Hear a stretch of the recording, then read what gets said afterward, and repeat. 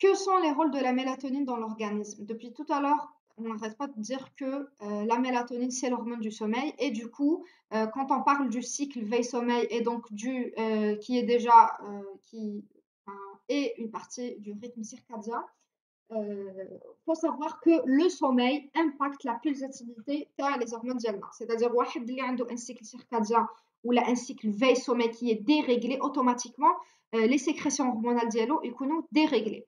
Donc, la mélatonine, elle, euh, comment dire, euh, régule notre rythme circadien, notre rythme veille-sommeil. Euh, la régulation du rythme saisonnier qui est très importante pour certaines espèces, surtout pour leur reproduction, parce qu'ils utilisent ce qu'on appelle la photopériodie pour anticiper où est la saison la plus favorable à la reproduction, bien sûr, selon euh, chaque espèce, c'est différent, donc selon le, comment dire, les changements ou bien les facteurs environnementaux.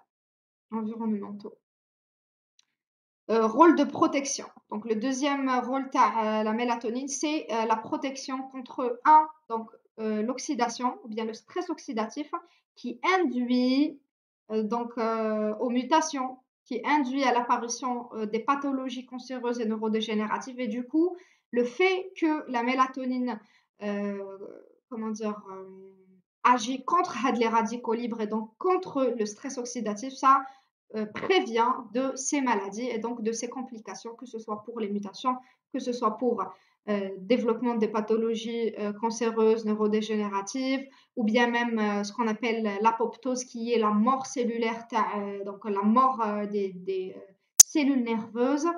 nous avons aussi un rôle de, enfin, de comment dire, renforcement de l'immunité. Donc, la mélatonine renforce notre immunité par euh, protection de l'activité des natural killer cells. Donc, euh, ce sont des euh, cellules immunitaires.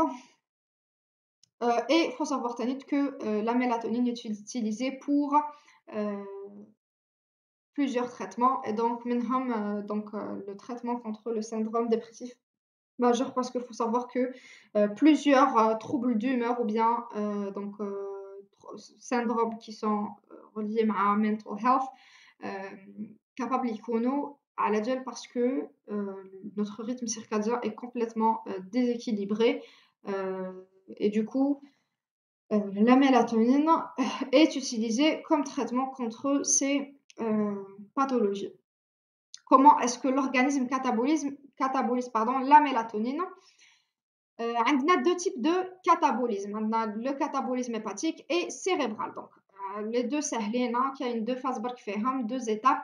Pour le catabolisme hépatique, nous avons la mélatonine euh, qui va passer par deux étapes pour créer un catabolite. Le catabolite, il va être éliminé par voie urinaire. Du coup, nous avons le premier, la première étape, c'est l'hydroxylation en sixième position. Donc, notre mélatonine va être hydroxylée en sixième position grâce à une enzyme qu'on appelle la CYP1A2. La CYP1A2, c'est une isoforme de quoi? Du cytochrome C. vous n'êtes pas obligé de, connaître tout ça. L'essentiel, l'enzyme wesh. Donc, première étape, c'est hydroxylation en sixième position. On obtient donc le 6-hydroxymélatonine. L'enzyme CYP1A2. Donc, c'est une protéine hépatique. Par la suite, elle sera conjuguée. Donc, le 6-hydroxymélatonine va être lié, va être conjugué à un groupement sulfate et du coup, on obtient le SMT. Le SMT HADA, c'est le métabolite ou bien le catabolite qui va être euh, le enfin, le SMT, il va être donc éliminé par euh, voie urinaire. Donc là, vous avez un petit schéma mélatonine CYP1A2 euh, ça va nous donner, donc ADC la phase d'hydroxylation, ça va nous donner le 6-hydroxymélatonine. Le 6-hydroxymélatonine va être lié à un groupement sulfate ou bien conjugué à un groupement euh, sulfate, ça va donner donc le SMT. Catabolisme cérébral, c'est un peu différent. Donc, on deux phases, une phase d'oxydation euh, et donc une phase de déformylation. Première phase d'oxydation, oui, nous aurons l'intervention de l'enzyme endolamine 2,3-dioxygénase endolamine de 3-dioxygénase qui va permettre l'ouverture de notre cycle endolique. Ok, donc c'est pour ça euh, notre, euh, comment dire, notre première étape, elle est dite oxydation. C'est l'action de l'enzyme endolamine 2,3-dioxygénase qui va permettre l'ouverture de notre cycle indolique. On obtient le AFMK, donc c'est juste une abréviation si vous voulez de le nom, euh, sur Google.